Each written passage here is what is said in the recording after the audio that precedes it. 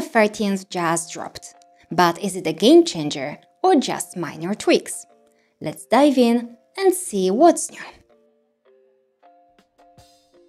There's a new feature in Chaos Scatter called Clusters, and it gives us some cool new options. There are three modes we can use. Generate mode automatically creates clusters from the list of scatter objects. There are several settings we can tweak to get the look we want. For example, we can control the average size of the clusters. We can also rotate them around the center using their rotation values, or offset them along the x or y axis. Roughness affects the shape of the clusters. Higher values give jagged edges, while lower values make them more rounded. Edge blend softens the transition between clusters. And diversity mixes in elements from other clusters when increased. So there's actually a lot of control here.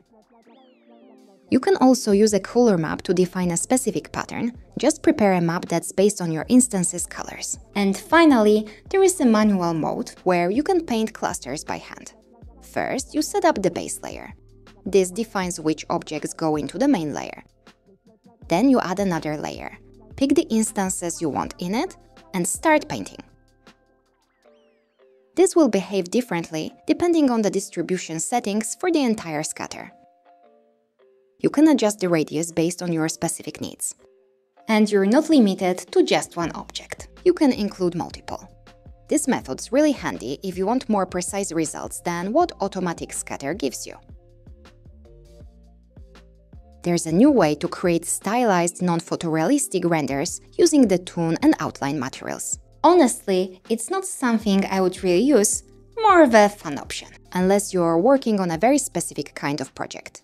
To get this effect, we've got two new materials, Corona Toon and Corona Outline material.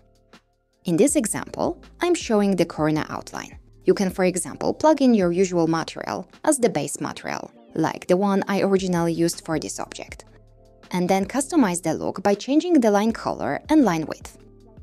These materials can also be used in the Material Overrides section in the render settings, which gives you even more flexibility. You can mix and match both effects to create a unique, stylized result. You can now speed up animation rendering by using the Corona and Vantage Live Link. Here is how it works. Corona figures out what's happening in each frame based on your animation, then sends the info over to Vantage that takes care of rendering on the GPU. It's an option for quickly creating drafts or test animations since GPU rendering is much faster. I wouldn't use it for final renders though, the quality just isn't quite what I'm after. AI Enhancer is the feature I'm most interested in, aren't you? To use it, First add the new render element. This is a crucial step. Then just hit the render button. Once the render is done, you'll notice this icon becomes active. Click it and the image will be added to the Collab tab.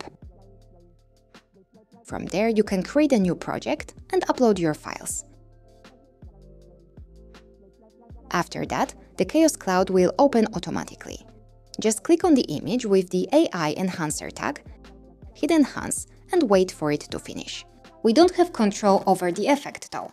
Adding some prompt options or perhaps sliders for adjusting the results would be a great improvement. I really like the idea of having AI enhancer in Corona, but I expected it to be built right into the software. Sending it through the collaboration tab wasn't quite what I was hoping for. The cool part is that it mainly improves people and vegetation in your scene. I tried using the image with the fog to see how it would handle things, but it didn't do so well with the background faces look more realistic now, and tree trunks too, for example.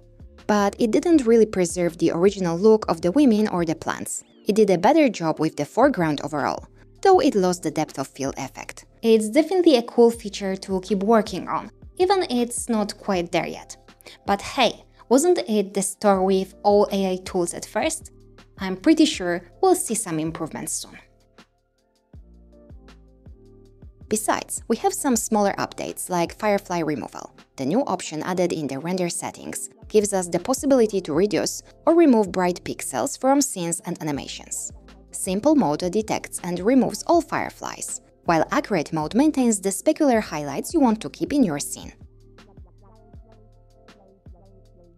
Now, we can get a nice little rainbow effect by controlling the thin film in the Corona physical material. With this effect, we can add this realistic touch, for example, to bubbles, oily surfaces, or anodized metal. If you're using Enscape, you can now import a scene from it and use it in Corona. However, as this is an initial stage, V-Ray also must be installed to make it work. Now we can find different versions of assets in Chaos Cosmos. For example, there are plants with seasonal variations, which are super useful when we need something specific for a certain time of year. So, is it worth the hype? I wouldn't call it a huge improvement, but I'm excited about AI enhancement being added to Corona. Also, the scatter options are a solid improvement, especially that cluster plays a huge role in landscape work. I'm always into updates that boost realism, so having this thin film feature is a nice bonus. What are your thoughts about the new Corona 13th? Let me know in the comments.